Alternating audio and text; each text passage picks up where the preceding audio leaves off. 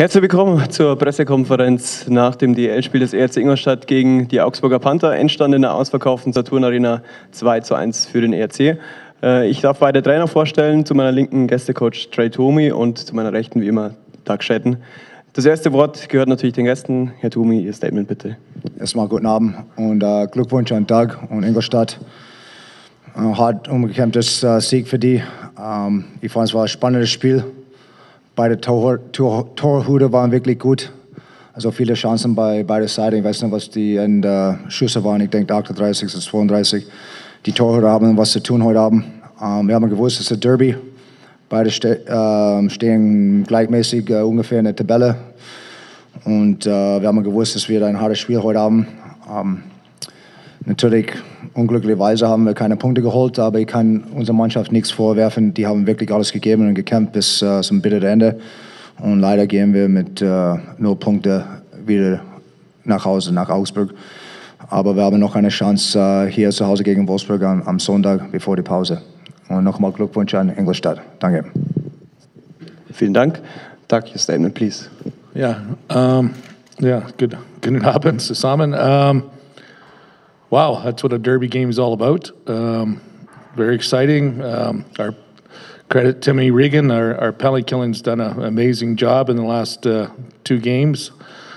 Um, although we give up the one late, but uh, the overall it's, it's been and sometimes your best penalty killer is your goalie, and Reimer's played fantastic.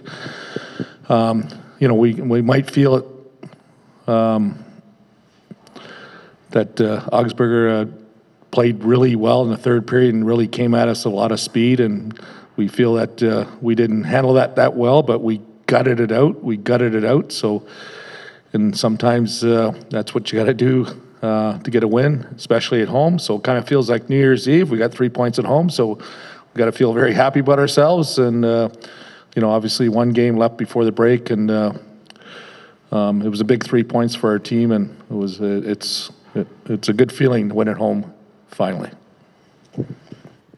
Ich fasse kurz zusammen. Ähm, Er sagt, äh, genau das ist, äh, ist ein typisches Derby-Spiel gewesen. Äh, er gibt ein großes Lob an Tim Regan, den Co-Trainer, für, fürs Penalty-Killing, das in den letzten beiden Spielen wirklich sehr gut war, auch wenn das, das Tor von Augsburg äh, im, im Powerplay gefallen ist. Äh, Jochen Reimer hat halt fantastisch gehalten. Äh, der AV ist im dritten Drittel nochmal sehr stark aufgekommen. Da hat seine Mannschaft vielleicht den Speed der Augsburger nicht ganz so gut gehandelt, aber trotzdem äh, haben sie den Sieg über die Zeit gebracht und das ist am Ende das, was zählt. Ähm, er ist sehr glücklich mit, mit der Leistung und das sind wichtige drei Punkte. Äh, schönes Gefühl, endlich wieder daheim gewonnen zu haben. Gibt es Fragen in der Runde? Keine?